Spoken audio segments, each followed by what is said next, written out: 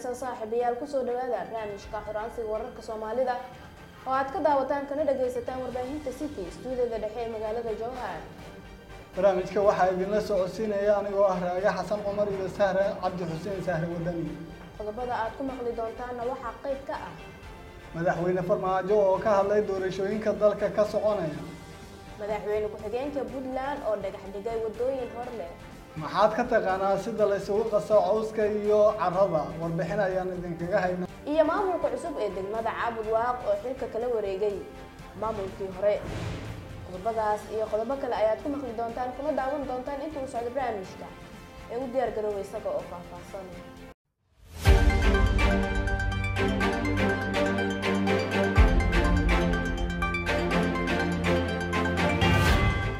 hagaag. Sida qodobada hordhacba aad ku maqlayseen madaxweynaha jamhuuriyadda federaalk soomaaliya mudane maxamed cabdulaahi farmaajo ayaa hogaanka qaramada midoobay kala hadlay xaaladda dalka iyo weliba arrimaha doorashooyinka. Sida warkan uu kuusii ambaqaadaya cumar guux. Madaxweynaha jamhuuriyadda federaalk ah ee soomaaliya mudane maxamed cabdulaahi maxamed farmaajo oo khudbad ka jeediyey mareegtada lix iyo toddobaatanaad ee golaha guud ee qaramada midoobay ayaa ka hadlay geedi socodka arrimaha doorashooyinka soomaaliya xakamaynta iyo ka soo kabashada cudurka covid sagaal iyo toban dardargelinta dib u habaynta qaramada midoobay ilaalinta deegaanka iyo isbeddelka cimilada adduunka. Madaxweyne maxamed cabdulaahi maxamed farmaajo ayaa soo bandhigay qorshaha ka hirgalay dhammaystirka geedi socodka doorashooyinka qaranka oo ka socota guud ahaanba dalka isagoo weliba hoosta ka xariiqay sida ay dowladda federaalk soomaaliya uga go-an tahay kamiro dhalinta himilada shacabka soomaaliyeed ee ku aadan doorasho xor iyo xalaal ah loo wada dhan yahay We are currently finalizing the process of holding free, fair and inclusive elections. waxaa hadda gabagabo inoo maraya hanaanka qabashada doorashooyin xor iyo xalaal ah oo loo dhan yahay taas oo ay ka qaybgalayaan tirada ugu badan ee ka qaybgalayaasha doorashada soomaaliya tan iyo dagaaladii sokeeye doorashooyinkani waxa ay udubdhaxaad u yihiin ilaalinta xuquuqda iyo rabitaanka muwaadiniinta soomaaliyeed oo ay ku jiraan taabagelinta xuquuqda haweenka iyo dhallinyarada.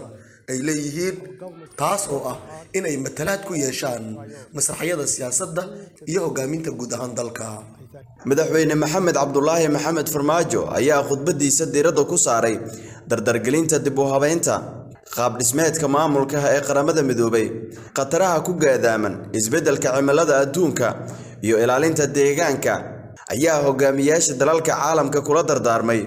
Xoojinta iskaashiga caalamiga ah si wadajir looga jawaabo caqabadaha khataraha ku ah adduunka. Cumar guux warbaahinta city maamulkaasi puntland ayaa dhagax dhigay. Wadooyin horleh oo ka tirsan maamulkaasi. Warbixin umuurtaasi ku saabsanna zakariya cusmaan cabdi ayaa ka waramaya. Madaxweyne ku-xigeenka dowlad goboleedka puntland axmed cilmi cismaan karaash ayaa dhagax dhigay dib u dayactir afartan kilomitir oo ka mid ah waddada isku xirta magaalooyinka laascaanood iyo garoobi oo ka tirsan maamulkaasi puntland qaybta dayactirka lagu sameynayo waddada laascaanood iyo garoobe ayaa waxaa ku jira buundooyin waxaana dhisaya dowlad goboleedkaasi puntland oo ku fulinayo hab isku tashi ama isxilqaan. Madaxweyne ku-xigeenka ayaa bogaadiyey shaqada socoto ee dib loogu dayactirayo waddooyinka gobollada wuxuuna la wadaagay bulshada. In sidoo kale la dhisan doono jidadka gobollada gardafuu iyo degmooyinka taleex boocame iyo buuhoodle sidii hore loo sheegay way socotaa waa badnaan doontaa.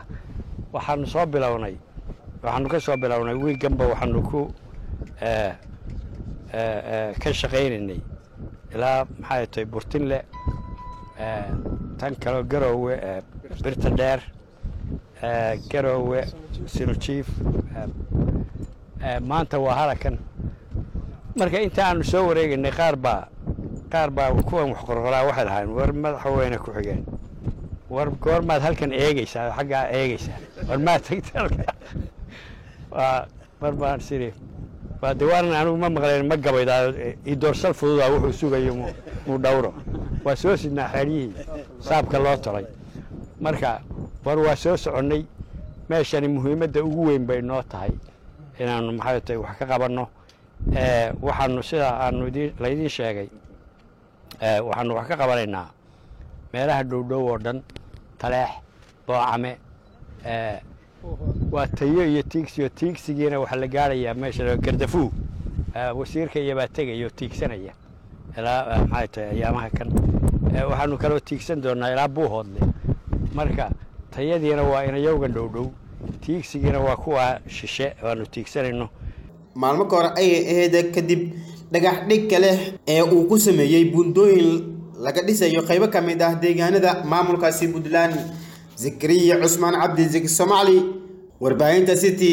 Taliska booliiska gobolka bari ayaa magaalada boosaaso ee xarunta gobolkaasi ku gudoomiyey shir looga hadlayo arrimaha amniga sida uu warkan ku sii ambaqaadayo waryahayga maxmuud dacad taliyaha qaybta booliiska gobolka bari gaashaale sare xuseen cali maxamuud ayaa kulanka amniga laga qaatay taliyaasha saldhigyada iyo guddoomiyaasha xaafadaha boosaaso si loo dardargeliyo amniga boosaaso iyo isku xirnaanka booliiska iyo bulshada xaafadaha magaalada.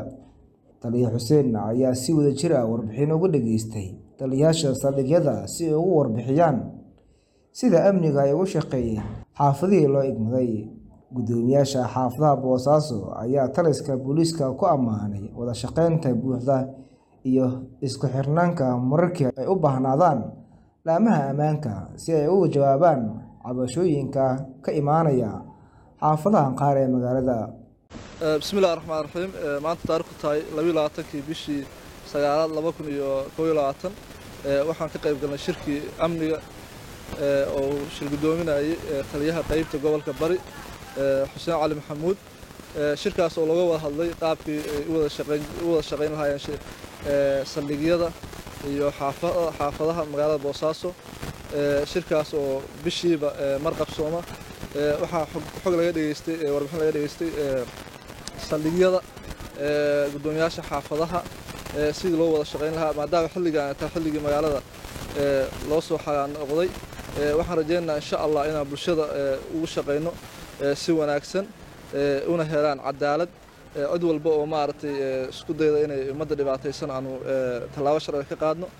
Insha allah waxaan rajaynaynaa mar labaad iyo mar saddexaad inaan maarata degdemga ahaan iyo saldhigyada inaan wada shaqeyno annagoo ka tarjumayna ummadda mas'uuliyaddii aan ummadda u hayno matalaynana degmada. Aad iyo aad baa mar labaad iyo mar saddexaad. Iyo salaam assalaamu calaykum waraxmatullahi wabarakatu maxamuud daacad warbaahinta city. Maxkamadda maamulka gobolka banaadir ayaa dalbatay in la siiyo dhulal ay ku shaqeeyaan maxkamadaha degmooyinka gobolkaasi banaadir. Warbixin umuurtaasi ku saabsanna muna cabdiraxmaan muniisha ayaa ka waramaysa gudoomiyaha maxkamadda raacfahanka gobolka banaadir garyaqaan maxamed axmed cismaan baari oo ay weheliyaan gudoomiyaha maxkamadda gobolka banaadir cabdiqadar maxamed xasan ayaa xariga ka jaray xarunta maxkamadda boondheere ee gobolka banaadir munaasabada furitaanka xarunta maxkamadda boondheere waxaa goobjoog ka ahaa xildhibaano ka tirsan golaha shacabka jamhuuriyadda federaalk soomaaliya garsoorayaal iyo maamulka degmada boondheere gudoomiye cabdiqadar maxamed xasan ayaa sheegay in maamul ahaan gobolka banaadir ay rabaan dhul ay ku shaqeeyaan maxkamadaha degmooyinka gobolka banaadir gaar ahaan wuxuu sheegay in ay noqdaan kuwo ku dhagan salgiyada booliska degmooyinka gobolka gudoomiye waxaan leeyahay aad aad u mahadsan tahay gudoomiye baari oo in badan ka shaqeeya isagana waxaan leeyahay maadaha ka gaarto. Waxaan rabaa inaan tilmaamo oo aan fariin halkaan uga foolo gudoomiye dhagac cadde oo hadda maamulka gobolka nagala joogo sidaad ogsoontihiin maxkamadaha degmooyinka kuwo ka mid a xarun ay leeyihiin ayaga loogu talagalay. Kuwo kale oo aan midda aan maanta joogno kamidana dee degmaday ku dhex shaqeeyaan xarun degmada in loo asteeyo dhul ay leeyihiin maxkamadaha degmooyinka. Kuwii hore u lahayna waa loo dhisi doonaa oo qorshaha dambe u noqonaa maadaama la soo gabagabeeyey maxkamadihii in dee garsoorayaal loo magacaabo in qorshaha ku xiga oo noqon doono in ay helaan xarumo ay ku shaqeeyaan oo ay leeyihiin. Kuwii hore u lahaayna loo dayactiri doono laakiin maamulka gobolka banaadir oo garsoorka ka gacan siiyo in xarumo loo helo maxkamadaha degmooyinka gobolka banaadir taas gudoomiye dhagacadan faraya midda xigta waxaa waaye maxkamadda gobolka banaadir naftirkeeda maxkamad la'aantii degmada boondheer culeysaa naga hayay oo ah waxyaabaha ka dhaco annaga markii naloo keeno degmooyinka maxkamadahoodan dib ugu celinaa maxkamada ikhtisaaska u laakiin maadaama maxkamadda degmada boondheer aysan lahayn maxkamad maamulka degmada aysan lahayn waxay ahayd in waxyaabaha ikhtisaas u lahaayeen ee degmooyin kale ay galaan. Marka maanta iyo wixii ka dambeeya maxkamadda gobolka banaadir culays saarnaa jiray oo maqnaashahii garsoorkii degmada boondheera maanta wixii ka dambeeyo meeshuu ka bixi doonaa. Gudoomiyaha maxkamadda boondheere maxamed aadan cismaan ayaa ku shaqeyn doona xarunta maxkamadda degmada boondheere ee gobolka banaadir. Muna cabdiraxmaan warbaahin city magaalada muqdisho. Maxaad ka taqaanaa sida la isugu qaso cawska iyo carrada? Cabdishakuur cabdulaahi axmed ayaa warbixintan ka diyaariyey jilbaha u laaban waxaana uu jafayaa caws uu qorshihiisa yahay inuu dhoobo ku labo dabadeedna uu ku saraaxo. Mid ka mid a aqalada carshaanta ah oo uu hooshiisa ku jiro. Dabcan qof kasta sidan uma jafi karo yacni uma jarjari karo. Waxaana jira hab loo jarjaro ka hor inta aan lagu qasin dhoobada. Waana inuu fahansan yahay qofka sidan samaynaya. Ujeeddada ugu weyn ayaana lagu sheegaa inay tahay in dhoobadaasi ayan ka dhex bixin. Ooda oo markeedii hore shabaq ah waxaana cawskan uu celiyaa in dhoobada ayan ka gudbin dhinaca kale. Waa iskiiga cawnaysana caddo ilmahayna iskiiga korsanay. Cari iyo coosaa saan iskugu daraa caddo ka cabsani. Warshad inuu helnana waa fiicnaa laheed oo cooskan saan noogu jarto. Maqaran saan ugu jaroynaa gacanteeyi halisay ku jirtaay. Haddii go'do ilmihii caana garoor male ha ka cabsanin marka waxaan jeclaan lahay adiga ina warshad noo soo raaraadisido cooskaan noo jarto jagjajjajjajjajjag noo siiso. Kacabsan cariy coosaa la yidhaha saanaa loo jaraa ood arkaysid qolka miyaa qolkii hadda guryahan dheedheeraa laga dhigooya caddow iyaarkey markii hore laba mitir iyo toddobaatan laba mitir iyo lixdan aa la dhisaayey haddaan afar mitir iyo baraa la dhisooyaa halkii qolah todoba boqolaa ku ridooynaa todoba boqol. Oo shilin soomaali. Ah guriga dhan intii qol os yahay lee lagu xisaabtamaa ka cabsan. Guriga ma aho. Ilmaha waa iskiiga maareysanoynaa qolka lama biriya iskiga soo noqonaa boqol. haa sida haddoo kale qorxeedkan oo kale. Waa jirtaa iidan xilliga roobaha oo kale xilliga beerta cabka oo kale yaa guri dhisanaa ninka tacabaas ku jiraabe sida qorxeedkii le dhisma la heli karaa ka cabsani qolka afar dulaa ku filan. Waa kaa dulkii soddon kuna u badan. Soddon kuna u yar. Soddon kuna u yar. Waa ka cabsani waa uu soo gabagabeeyey inuu jafo yacni jarjaro waxaana hadda uu joogaa xilligii uu isku qasi lahaa dhoobada iyo cawska. Ka hor isku qasidana waxa uu ku qasban yahay inuu biyo badan ku shubo si uu u jilco cawska. Dhoobadana ay u qoydo.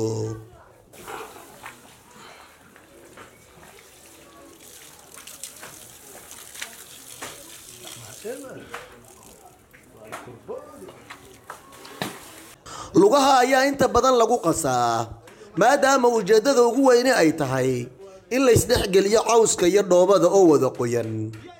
Mararka qaarna badeelka ama badiilka waa la adeegsan karaa. Qaybtoodna gacmaha ayayba ku walaaqaan.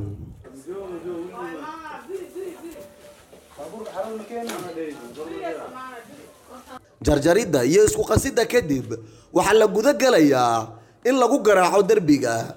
Koox aada u fahansan ayaana derbiga ku garaacaysaa.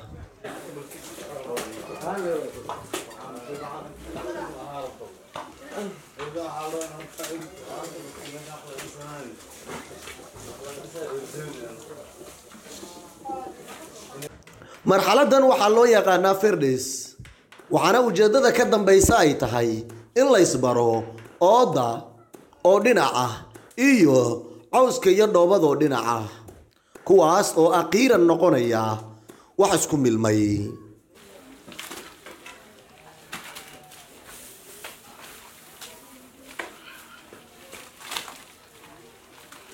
Maxamed axmed waxa uu ka mid yahay xirfadleyda reer jowhar ee ku shaqaysta firdhinta aqalada carshaanta ah yacni ooda ah waxaana uu warbaahinta city uga waramayaa hawshan iyo marxaladaha laga maro shaqadan waxaan hayaa muddo saddex sane eh. waxaan ku soo raacay nin liidaaha axmedey cali abdiwaay. Ninkaas ayaa macalinkii ahaa i bari. Aniga saddex sane aan ku dhex jiraa ahayn haa sida beeraha markii roobka da'a beera fal iyo beera abuur iyo kawaabaha iyo saasaan leh. Xilli qorxeedka tahayna eedaan ku shaqaysanaa hadda markaa saa u dhammaystaan guriga la degi karaa mise wax kalaa u dhiman maya ilaa iyo shan maalmood haddana markiis qalal waa lagu soo laabanaa waa la gacan labaadina kadib iyo degaan waadan.